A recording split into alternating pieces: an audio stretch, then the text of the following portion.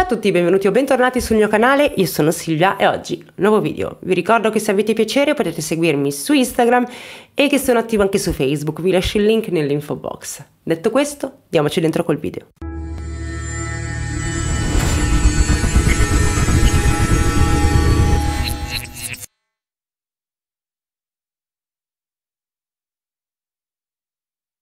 A volte l'avidità rompe persino barriere del cuore, che da sempre si considerano indistruttibili, rendendo possibile ciò che fa orrore al solo immaginarlo. Ci troviamo a Merseyside, nel nord-ovest dell'Inghilterra. È la sera di domenica 5 settembre 2004, quando la polizia viene contattata da uno degli abitanti del posto. Un uomo chiede di fare una visita di controllo a casa dei suoi vicini, due coniugi in pensione che vivono a Melling, un tranquillo villaggio del Merseyside. È preoccupato perché non vede la coppia né ha sue notizie da un po' di tempo e la posta sta iniziando ad accumularsi sul portico. Ha già bussato alla porta dei vicini un paio di volte per assicurarsi che stessero bene, ma non ha mai ricevuto risposta e non è riuscito a percepire nessuno all'interno della casa. Anzi, da lì proveniva soltanto uno strano rumore come un ronzio. Alcuni agenti di polizia sopraggiungono e danno un'occhiata, guardano attraverso le finestre e non notano nessuno, ma avvertono anche loro quel ronzio descritto dal vicino di casa e credono provenga dalle mosche che stanno letteralmente infestando l'abitazione. Ma non solo, gli agenti sentono anche un forte e cattivo odore che emana all'interno della dimora. Dato che pure loro non ricevono risposta dai suoi abitanti quando bussano alla porta d'ingresso, la forzano, preoccupati per la coppia di pensionati. Così, appena entrati, si trovano immersi in una scena da film horror. Le mosche la fanno da padroni ovunque, un gigantesco sciame infesta tutta la casa e quell'odore disgustoso percepito dall'esterno, ora diventa travolgente e insopportabile. Presto i poliziotti ne intuiscono la provenienza, scoprendo i corpi senza vita dei due coniugi che non si vedevano in giro né si sentivano da settimane. La coppia di pensionati è composta da Sidney Blackwell, di 72 anni, e sua moglie Jacqueline, di 61 anni. Il primo cadavere che gli agenti rinvengono è quello di Sidney accasciato su una sedia del soggiorno, mentre Jacqueline è riversa sul pavimento del bagno. Entrambi i corpi sono molto decomposti, proprio perché la coppia è morta da diverse settimane e non per cause naturali. Sì, quella casa è proprio una scena del crimine. Sidney e Jacqueline si conoscevano dagli anni 60, erano giovani e si erano incontrati perché entrambi lavoravano alla Little Woods Factory di Liverpool. All'epoca tutti e due erano sposati con altre persone, ma si ipotizza che avessero una cotta l'uno per l'altra. Un'attrazione da ignorare necessariamente, visto che erano impegnati nei propri rispettivi matrimoni, quindi nessuno dei due aveva fatto un passo verso l'altro. Avevano proseguito le loro loro vite prendendo strade separate. Poi, circa vent'anni dopo quel loro primo incontro, Sidney aveva divorziato da sua moglie, mentre il matrimonio di Jacqueline era già finito da circa dieci anni. Si erano rincontrate di nuovo, lavorando sempre per la stessa azienda a Liverpool. Sidney era un contabile, mentre Jacqueline un'antiquaria. Era il 1982, Sidney aveva 53 anni, Jacqueline 42 e nonostante fossero passati 20 anni, la chimica e l'attrazione tra loro continuavano a essere presenti. Ora che erano entrambi single, avevano iniziato a frequentarsi, si erano innamorati e desideravano trascorrere il resto della loro vita insieme, formando una famiglia. Così, un paio d'anni dopo, Jacqueline era rimasta incinta e nel 1986 aveva dato alla luce un bambino. Brian. Non molto tempo dopo la nascita del figlio, Sidney e Jacqueline si erano sposati. Erano molto felici, adoravano alla follia il loro bimbo e, due anni dopo il parto, la famiglia si era trasferita in un bungalow nel villaggio di Melling. La zona era abitata dalla classe medio-alta, da persone benestanti. Sidney e Jacqueline non erano ricchissimi, ma finanziariamente stabili agiati, non conducevano una vita di lussi, ma potevano permettersi di fare delle belle vacanze e spesso andavano in Spagna dove avevano una seconda casa. La coppia si stava godendo la pensione senza mai perdere di vista il figlio. Sidney e Jacqueline volevano solo il meglio per Brian, erano dei genitori molto molto attenti e spingevano il figlio a dare il massimo a scuola e negli sport. Brian era bravo a giocare a tennis e Sidney e Jacqueline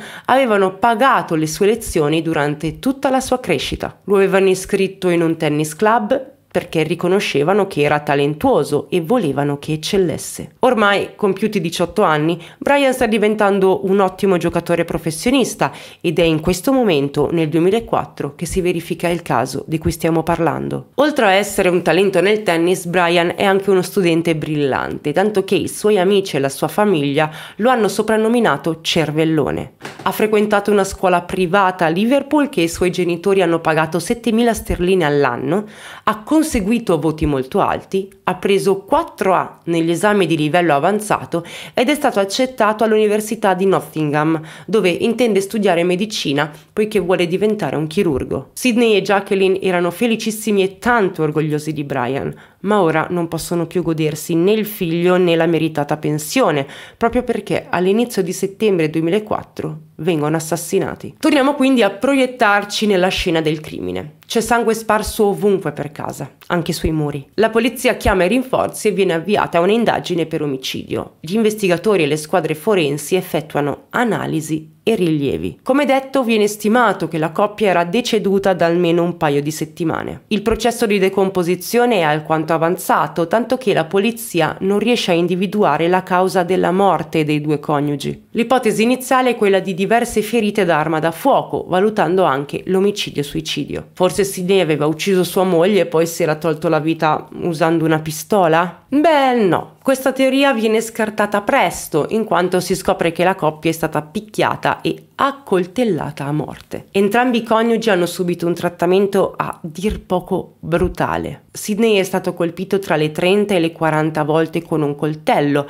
principalmente nella parte superiore del corpo. Ha subito anche un grave trauma cranico che evidenzia che era stato ferito alla testa con molta veemenza. Al momento del ritrovamento era accasciato su una sedia del soggiorno, aveva una guida TV aperta sulle ginocchia e teneva i suoi occhiali in mano. Questo fa supporre agli investigatori che Sidney fosse stato aggredito alle spalle e che non avesse avuto nemmeno il tempo di reagire anche solo per alzarsi dalla sedia. Probabilmente stava guardando la tv o si era addormentato quando gli era stata inflitta la prima ferita. Jacqueline aveva subito ferite simili a quelle di suo marito, anche lei era stata accoltellata circa 20 volte e colpita alla testa. Il suo cadavere giaceva nel bagno della casa, ma le prove raccolte indicano che anche lei era stata aggredita e uccisa nel salotto, poi era stata trascinata fino al bagno, come evidenziava la scia di sangue sul pavimento. L'ispezione della casa non porta a galla l'arma del delitto, quindi l'assassino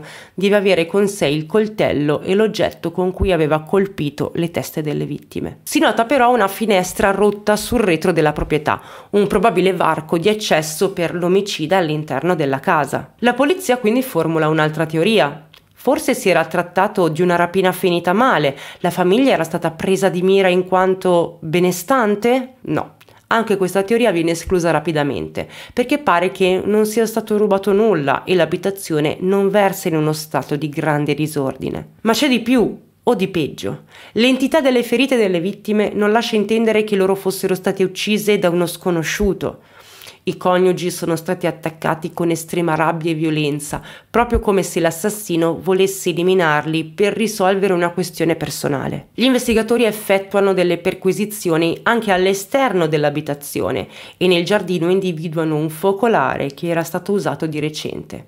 Ma per bruciare cosa? Non si può affermare con certezza che vi sia una correlazione con il duplice omicidio, forse lo avevano acceso i Blackwell, ma se l'avesse fatto l'assassino per distruggere delle prove del crimine? La polizia deve indagare più a fondo sulla questione. Intanto parla con i vicini di casa della famiglia Blackwell, chiede loro se avessero visto qualcosa di strano oppure se avessero sentito l'odore del fuoco che ardeva nel giardino accanto.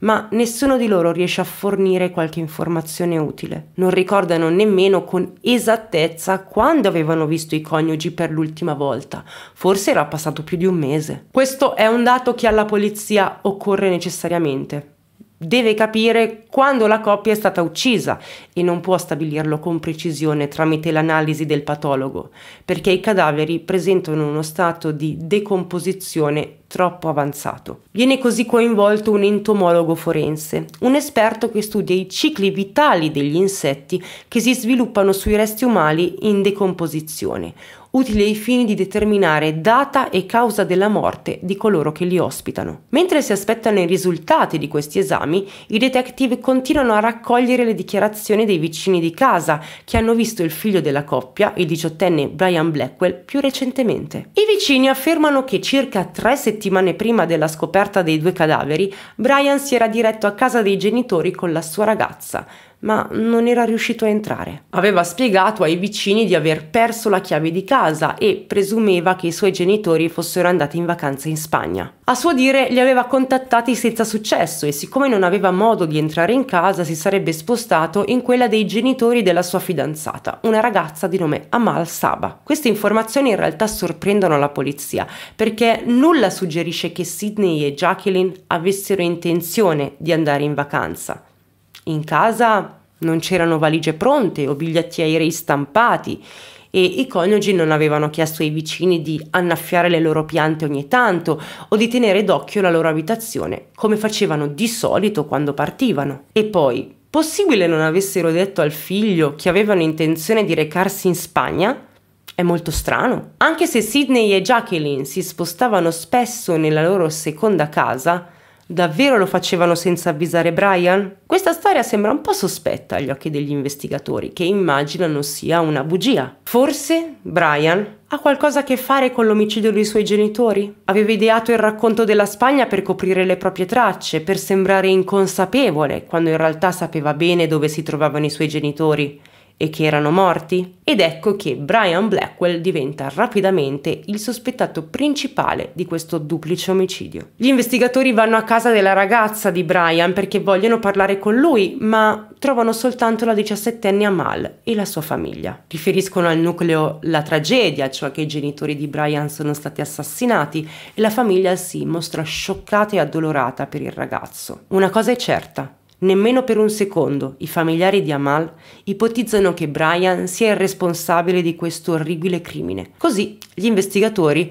rivolgono loro delle domande, in particolare ad Amal. Vogliono sapere di più sulla relazione tra lei e Brian. Amal racconta che lei e Brian si erano incontrati a scuola, andavano molto d'accordo per cui avevano cominciato a frequentarsi e si erano innamorati. Sono una coppia affiatata, i genitori di Amal sono felici per loro, adorano Brian, pensano che sia un bravo ragazzo, un giovane rispettabile e intelligente che nella vita saprà farsi molta strada. D'altronde sta per iniziare a studiare medicina all'università. Anche Amal è una ragazza in gamba e ha in programma di studiare medicina. Lei è orgogliosa di Brian, dice agli investigatori che lui è un ottimo giocatore di tennis, così bravo da essere sponsorizzato dal marchio Nike. La Nike gli aveva corrisposto ben 70.000 sterline per un accordo di sponsorizzazione, perché Brian dovrà gareggiare in diversi tornei di tennis in tutto il mondo e la Nike vuole essere rappresentata da lui, in quanto lo valuta come un probabile vincitore. Inoltre Brian è solito viziare la sua ragazza,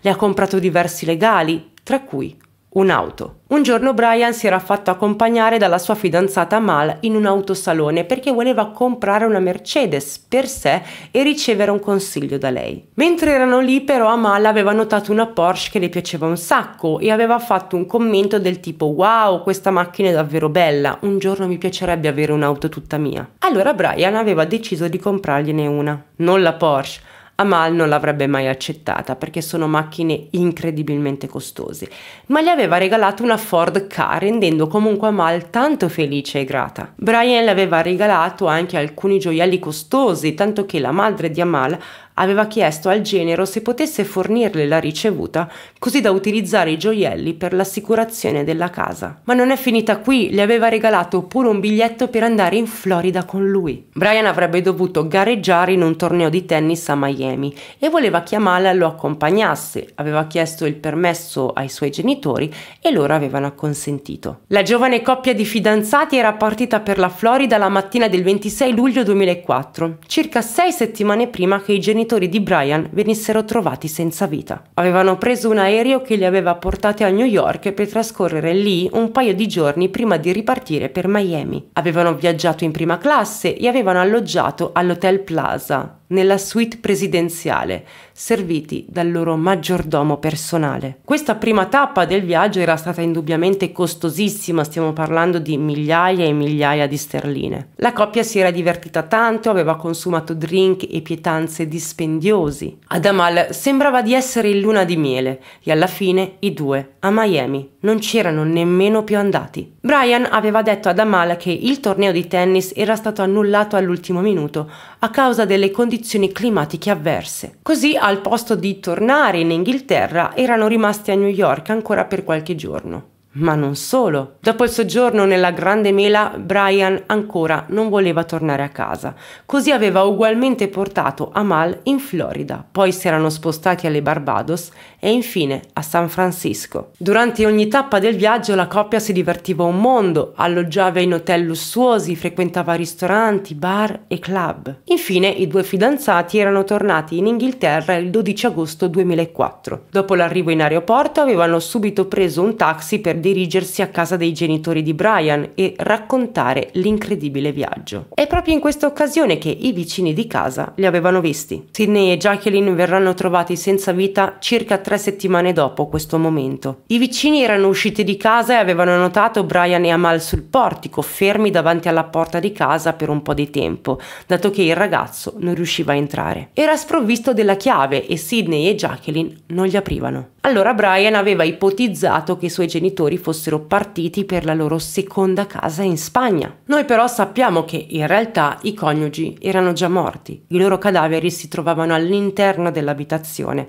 quando la giovane coppia aveva fatto loro visita. Dopo questo periodo di tempo, i vicini di casa, preoccupati, hanno contattato la polizia anche per richiedere un controllo sanitario, dato lo strano ronzio e l'odore sgradevole che provenivano dalla dimora dei Blackwell. Intanto Brian era rimasto con Amala a casa dei suoi genitori non troppo distante. Torniamo al momento in cui la polizia sta dialogando con loro. Brian era considerato come uno dei principali sospettati, ma Mal, spiegando le tempistiche del loro viaggio negli Stati Uniti, sembra fornire un alibi al fidanzato, perché il periodo coincide con quello in cui si colloca la morte dei coniugi, almeno stimata. Non poteva aver ucciso i genitori mentre si trovava in America. Quando Brian torna a casa di Amal, la polizia è ancora lì, così lo fa sedere e gli dà la notizia. I suoi genitori sono stati trovati senza vita nella loro casa. Brian appare molto turbato, ma anche confuso perché sembra davvero convinto che i suoi genitori fossero in Spagna per tutto questo tempo. I detective gli fanno alcune domande fino a che Brian dice qualcosa che li lascia sbigottiti. Chiede improvvisamente se in prigione faccia freddo. Come mai?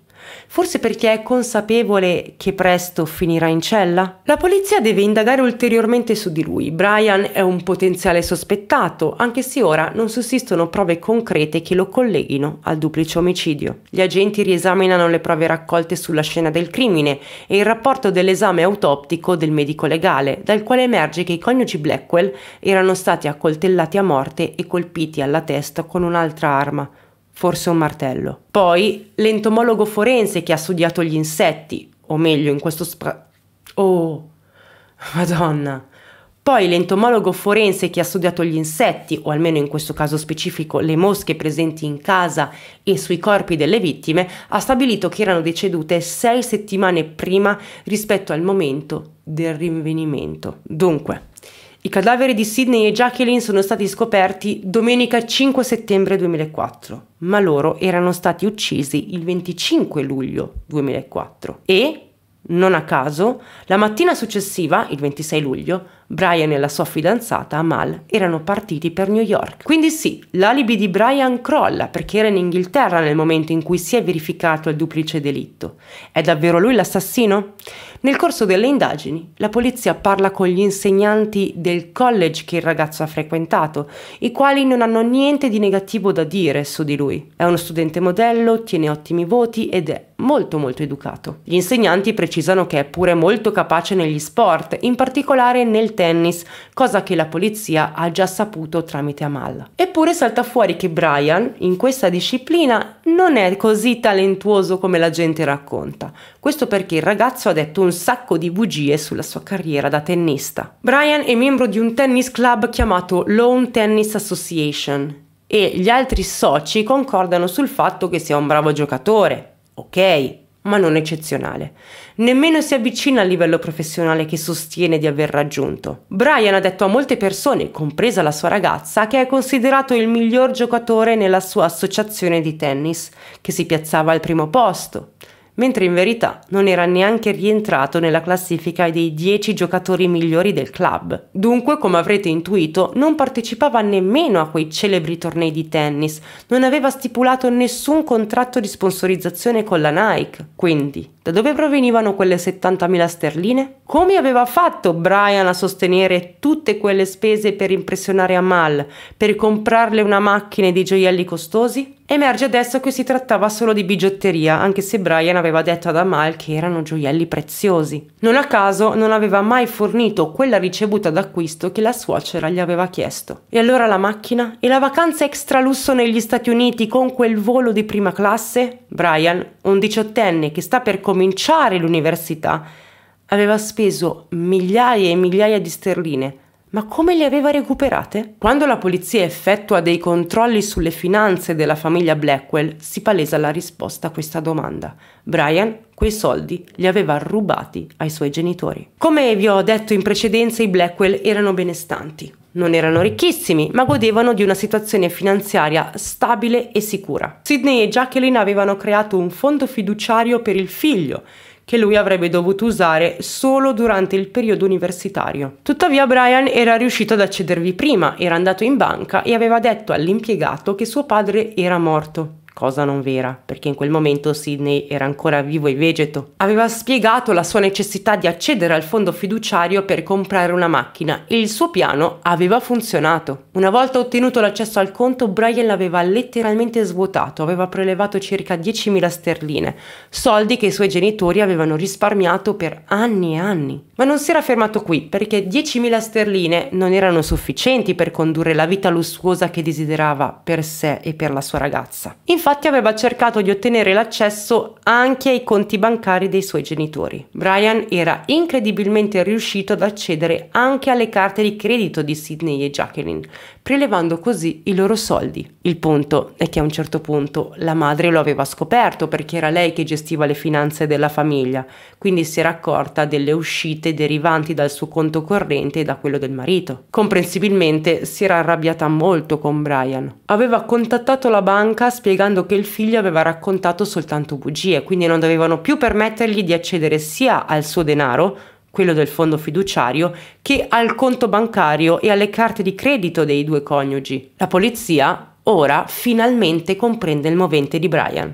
Aveva ucciso i suoi genitori per poter spendere liberamente i loro soldi. Forse il suo furto aveva scatenato una lite con i genitori, avevano scoperto come Brian aveva speso quei soldi e lo avevano affrontato, ma la discussione era degenerata, con Brian che aveva aggredito e ucciso la madre e il padre. Tuttavia il cadavere di Sidney non presentava segni di lotta. Come detto, era accasciato su una sedia nel soggiorno, con la guida tv aperta sulle gambe, quindi probabilmente Brian aveva pianificato i suoi assalti in modo molto accurato. Il ragazzo voleva vendicarsi, furioso perché i suoi genitori gli negavano di accedere a qualsiasi fonte di denaro in realtà. Secondo la polizia intendeva ucciderli anche perché temeva che raccontassero ad Amal che lui aveva mentito sul contratto con la Nike. Sidney e Jacqueline potevano dirle che quelle 70.000 sterline Brian le aveva sottratte ai conti di famiglia. Oppure, si chiede la polizia, anche Amal aveva avuto un ruolo nella morte dei coniugi? Anche se non era presente al momento del duplice omicidio. Conosceva i piani del suo fidanzato? Oppure aveva appreso la verità dopo i delitti e aveva tenuto questo segreto per sé? Insomma, la polizia crede che Amal sappia più di quanto lasci intendere. Così la ragazza viene interrogata e messa al corrente delle nuove scoperte dei detective, ma lei sembra davvero sconvolta. Non riesce a credere che quel ragazzo così gentile e amorevole che le aveva promesso il mondo sia un assassino spietato. Amal si sente imbarazzata e violata perché Brian l'ha ingannata e non solo a lei. I genitori della sua fidanzata, i suoi amici e i suoi insegnanti. Tutti pensavano che Brian fosse un talento fuori dal comune, che sarebbe diventato un famoso giocatore di tennis professionista che avrebbe guadagnato tantissimi soldi. Era ciò che lui faceva credere a tutti loro, ma erano solo bugie, un generale lavaggio del cervello. Tornando ad Amal, la polizia, come detto, nutriva dei sospetti su di lei, ma emerge che la ragazza non sapeva assolutamente niente dei piani di Brian, quindi viene esclusa dalle indagini. Tuttavia la polizia vuole condurre una perquisizione a casa sua, visto che Brian ha soggiornato lì nelle settimane precedenti al ritrovamento dei corpi dei suoi genitori. La madre e il padre di Amal danno il permesso di ispezionare la loro dimora e gli agenti si concentrano sulla stanza in cui dormiva Brian e sul garage, dove il ragazzo aveva sistemato alcune cose personali. È proprio perquisendo il garage che trovano una borsa nascosta con cura dal sospettato. Al suo interno c'è un martello che può corrispondere all'arma con cui, secondo il medico legale, l'assassino aveva colpito le teste delle vittime. Il martello, osservandolo bene, è ancora macchiato di sangue e si rinvengono dei capelli sopra di esso, probabilmente appartenuti ai coniugi Blackwell. Ma dalla borsa emerge anche altro, un mazzo di chiavi della casa dei Blackwell. Chiavi che appartengono proprio a Brian. Come ricorderete, Brian il 12 agosto era tornato dagli Stati Uniti e aveva detto ai suoi vicini di non poter entrare in casa perché aveva smarrito le chiavi e invece le aveva nascoste in quella borsa insieme a un martello insanguinato. Dopo aver trovato questi oggetti, la polizia è certa, ora più che mai, che Brian è l'assassino. Ci sono abbastanza prove per arrestarlo e gli inquirenti ne ottengono ulteriori perché due testimoni si fanno avanti dopo aver appreso la notizia di questo crimine al telegiornale. Hanno delle informazioni su Brian da fornire. I due abitano a Kirkby, una cittadina che appartiene sempre alla contea di Merseyside. È situata a circa due miglia da Melling, dove vivevano i Blackwell. I testimoni erano stati avvicinati da Brian non molto tempo dopo gli omicidi e lui aveva chiesto loro se fossero disposti a bruciare la casa di uno spacciatore. I due si erano straniti e avevano rifiutato la proposta. Poi, tempo dopo, vedendo apparire Brian al telegiornale, avevano collegato. Era lui il ragazzo che gli aveva fatto quella richiesta bizzarra. Forse Brian aveva assassinato i genitori e voleva assoldare qualcuno che bruciasse il loro bungalow per evitare che i cadaveri venissero scoperti. La supposizione dei due testimoni suona come un'ulteriore conferma dei sospetti della polizia, pur trattandosi di prove indiziarie. Brian viene dunque arrestato con l'accusa di aver ucciso i suoi genitori e sottoposto a un interrogatorio alla stazione di polizia. Gli investigatori decidono di usare una tattica specifica per far parlare Brian, visto che lui sembra quel tipo di persona che si reputa più scaltro e intelligente di chiunque altro anche dei detective. Così non gli presentano tutte le prove raccolte contro di lui, ma gli chiedono di esporre la sua versione degli eventi del giorno in cui ha ucciso i suoi genitori. Poi gli domandano perché lo hai fatto, ma senza lasciargli intendere che possono inchiodarlo al crimine. Brian appare confuso perché nemmeno immaginava che la polizia gli stesse alle calcagna convinto di essere così astuto da farla franca. Siccome non risponde, l'investigatore gli ripete la domanda. Perché hai ucciso i tuoi genitori? A Brian irrita questa insinuazione e risponde polemico: Perché mi fate queste domande? Non dovresti interrogarmi come sospettato, ma come testimone. Si intuisce che il ragazzo non ha alcuna intenzione di arrendersi, di confessare Certo che la polizia non abbia prove concrete per dichiararlo colpevole. Ma a questo punto il detective estrae le chiavi di casa dei Blackwell, quelle di proprietà di Brian, e gliele mostra. Lui sa bene di averle messe nella borsa nascosta nel garage della casa dei genitori della sua fidanzata. Dunque è evidente che aveva accesso all'abitazione di Sidney e Jacqueline. La polizia fa capire a Brian che sa che lui sta mentendo e ora il comportamento del ragazzo cambia. Da innervosito e polemico diventa adirato, poi di colpo scoppia a piangere. Brian parla con un avvocato, riceve da lui qualche consiglio, infine si risiede davanti ai detective e fornisce una confessione. Ammette di aver ucciso sua madre e suo padre, ma dice che non si è trattato di omicidio, aveva ammazzato i suoi genitori per legittima difesa. Il ragazzo spiega alla polizia che nel periodo precedente alla morte dei suoi genitori la situazione a casa era tesa. C'erano state molte discussioni tra lui e i genitori perché avevano scoperto del furto dei loro soldi ed erano furiosi, giustamente.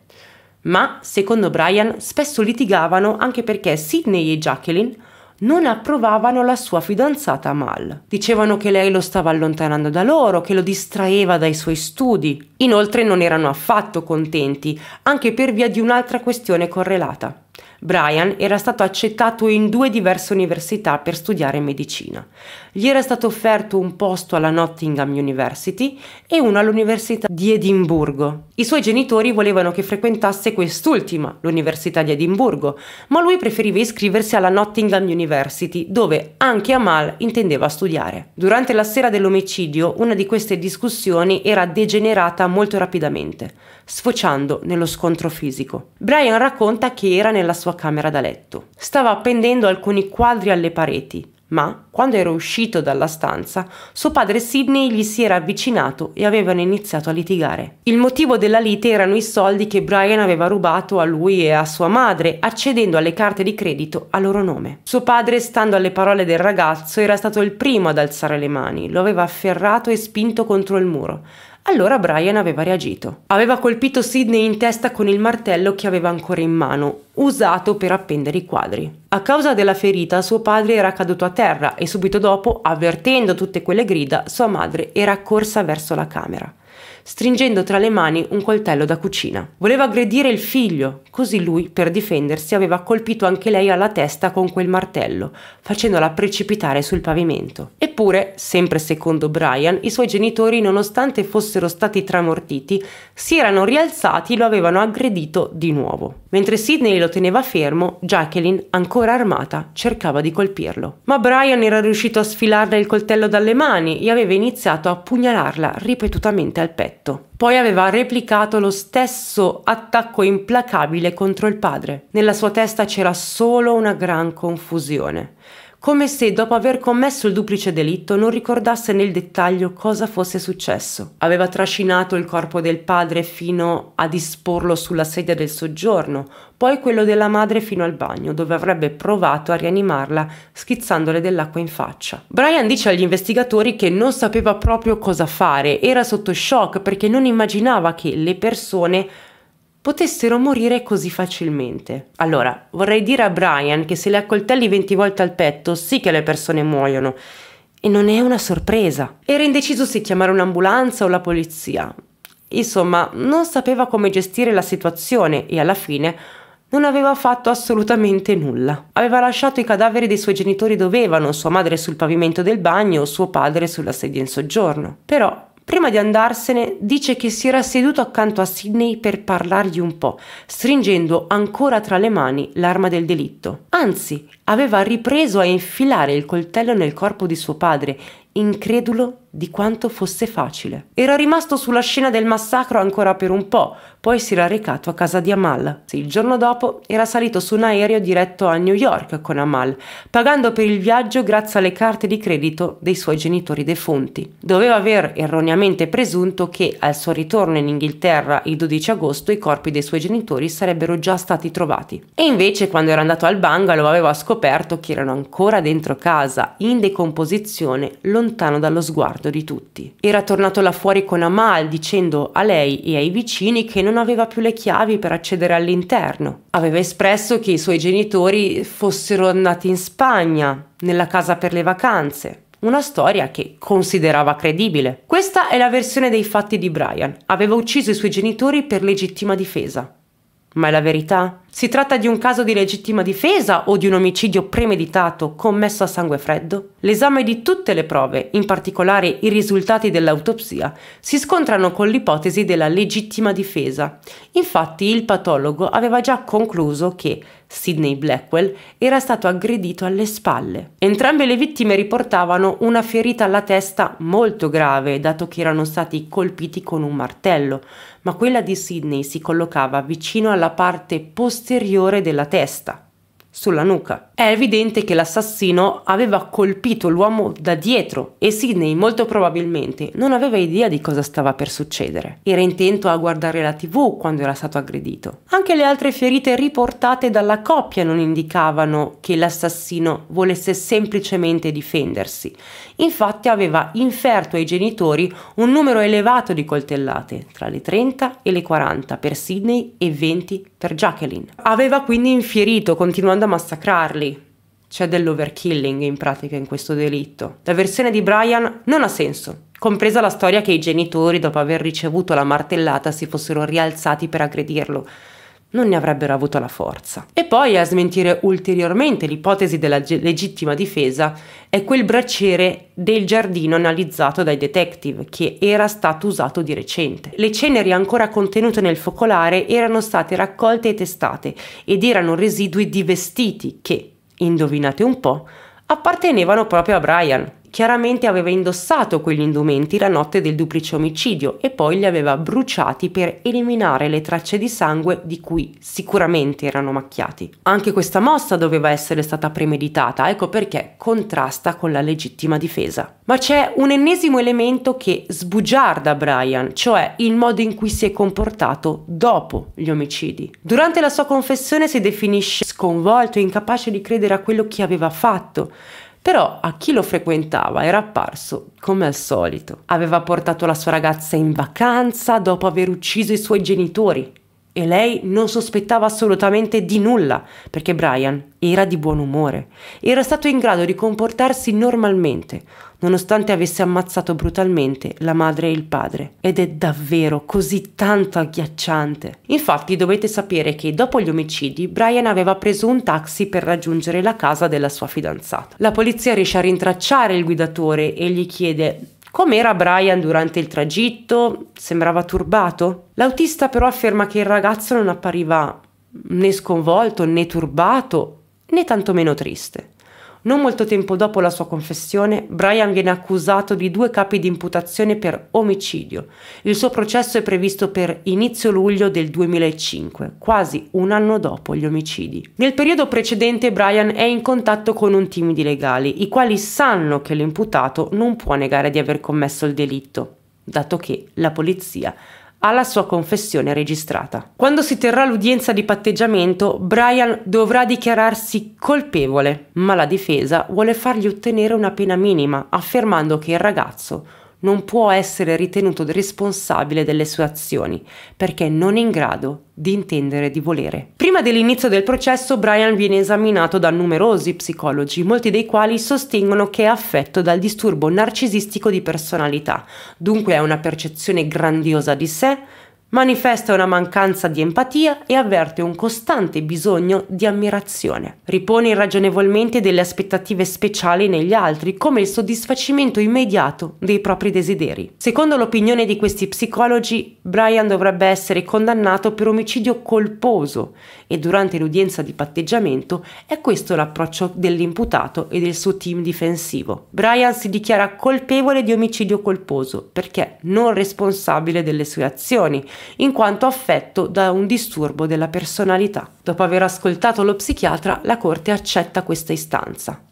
Così, nel giugno del 2005, Brian viene condannato all'ergastolo con un minimo di 12 anni di carcere per duplice omicidio colposo. Nel 2016, in seguito a un'udienza con la Commissione per la libertà vigilata, Brian viene rilasciato. Quindi sì, è già un uomo libero da anni è rimasto dietro le sbarre per soli 11 anni. In realtà in prigione si è comportato da detenuto modello, era un membro stimato della biblioteca carceraria. Online non emergono ulteriori informazioni su di lui, quindi non posso dirvi dove viva o cosa stia facendo e soprattutto se magari gli abbiano fornito una nuova identità. La gente e l'opinione pubblica ha posizioni molto contrastanti sulla condanna di Brian. In molti affermano che avrebbe dovuto ricevere una pena più severa, mentre altri sostengono che la sua fosse una giusta sentenza, considerando il suo disturbo narcisistico di personalità. Questo è un caso molto triste e come sapete resto sbigottita quando approfondisco crimini compiuti da parenti così stretti. Sidney e Jacqueline erano orgogliosi di Brian, avevano sempre e solo voluto il meglio per lui, quindi è straziante pensare che le loro vite sono state interrotte dalla mano del figlio che adoravano. E il movente poi, e dai, li ha uccisi per soldi soldi che peraltro ha usato per fare una vacanza di lusso con la sua fidanzata. Converrete con me, insomma, che si tratta di un motivo futile. Inoltre le parole di Brian non convincono molte persone neanche quando racconta che i genitori non approvavano la sua fidanzata, in quanto il rapporto con lei lo stava allontanando da loro. Onestamente sono più propensa anch'io a credere maggiormente che lui li avesse uccisi perché spinto dalla sola avidità. E poi mi lascia perplessa che la banca gli avesse dato accesso al suo fondo fiduciario fiduciario basandosi solo sulla menzogna di Brian, il quale aveva detto all'impiegato che suo padre era morto. Ma santo cielo, non vengono effettuati dei controlli? Ora chiedo a voi, cosa ne pensate di questo caso? Credete che Brian dovesse passare più tempo in carcere oppure gli 11 anni che ha scontato sono una pena sufficiente? A me, a fronte del duplice omicidio dei propri genitori, sembrano davvero troppo troppo pochi. Inoltre non ho mai sentito che a qualcuno venisse data una pena meno severa per un disturbo della personalità. Solitamente queste cose succedono quando ci sono di mezzo patologie psichiatriche come la schizofrenia, la psicosi. Non ho mai trovato un caso che limitasse la responsabilità dell'assassino per un problema di disturbo di personalità, in questo caso disturbo narcisistico della personalità. Quindi niente, sono curiosa di sapere che cosa ne pensate voi, qual è la vostra opinione su questo caso, se lo conoscevate e qual è la vostra opinione sulla condanna di Brian, sulla condanna che Brian ha ricevuto. Insomma, sentitevi liberi di esprimere i vostri pensieri, le vostre emozioni qui sotto nei commenti. Fatemi sapere cosa vi ha suscitato questo caso, che emozioni avete provato. Io ovviamente ho provato molta rabbia. Molta, molta rabbia perché non si può ammazzare qualcuno per dei soldi. Non si può ammazzare i propri genitori per dei soldi. Io trovo questo caso davvero, davvero molto assurdo e triste. Quindi sono curiosa di sapere anche le vostre opinioni. Io nel frattempo vi mando muah, un bacione, noi ci vediamo prestissimo al prossimo video, mi raccomando fate i bravi, continuate a mangiare le verdure che continuano a far bene, ma soprattutto prendetevi cura di voi e fate ciò che vi rende felici, basta che non facciate nulla di criminale. Ciao a tutti!